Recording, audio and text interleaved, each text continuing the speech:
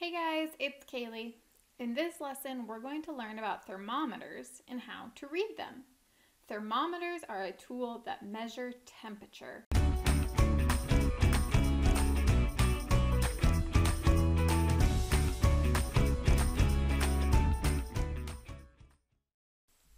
Have you ever seen the weather report come on TV? It will often look similar to this, and the weatherman or woman will tell us the temperature prediction for the next few days. These numbers down here represent the temperature.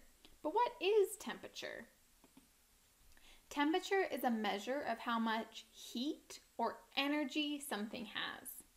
There are a lot of tools that help us measure temperature, but a simple way is by using our senses.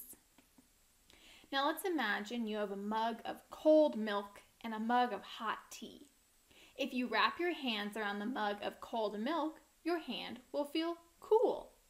And if you wrap your hand around the mug of hot tea, your hand will feel warm.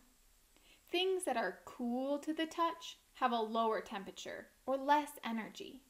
And things that are warm to the touch have a higher temperature and more energy. Now, if we want a more precise measurement of temperature, we can use a thermometer.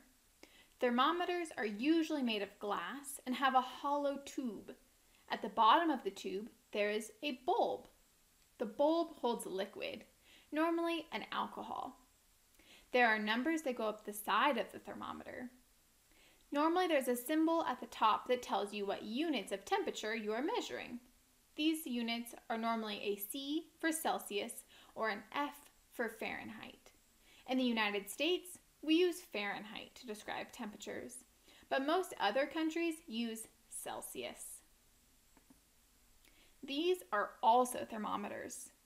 Thermometers that look like this often give the temperature of engines or machinery. And this type might be the most familiar to you. This thermometer is used to take the temperature of the human body. You may have used one of these when you were sick to see if you had a fever. When there is an increase in heat, the liquid that is in the bulb will expand and push up the tube. So as the temperature goes up and gets hotter, the liquid goes up in the thermometer. When there is a decrease in heat, the liquid that is in the bulb will contract and slide down the tube. As the temperature goes down and gets colder, the liquid goes down in the thermometer. Now let's practice reading some thermometers. Here we see the red line has moved up the tube. We find the top of the liquid and we see what number it is at on the scale. This one is right at 80. And if we look at the top, we see what units we are in, and it is F, so Fahrenheit. We can write the temperature as 80 with a degree symbol and then a capital F for Fahrenheit. Here we see the red liquid has moved down in the tube. We find the top of the liquid and we see what number it is at on the side. This one is right at 30. And we look at the top to see what units we're in and it's C, so Celsius.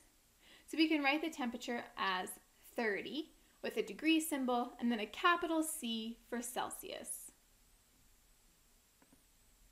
Now let's compare these two thermometers.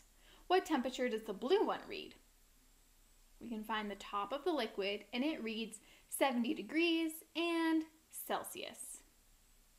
Now the red one, we find the top of the liquid and it is 90 degrees and Celsius. So which thermometer is reading a hotter temperature? Yeah, the red one. The liquid has raised up higher, so the scale gives us a larger number. Now these thermometers don't have numbers, but they're all in Fahrenheit.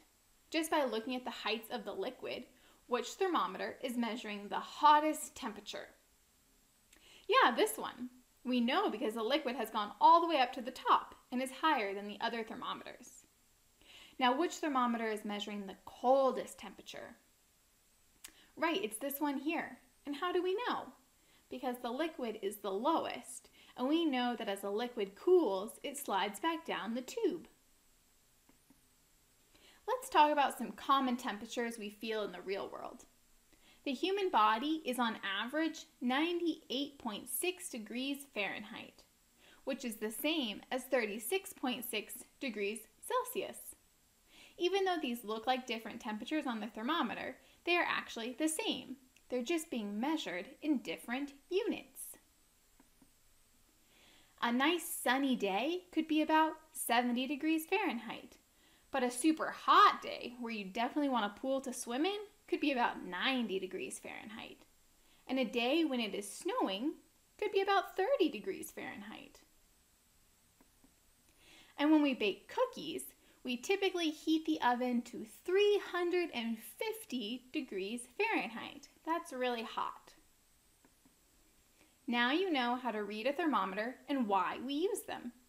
Remember to always check the units at the top. Practice what you've learned by doing the online games and quizzes have fun, and remember to always be clever. Hey, hey.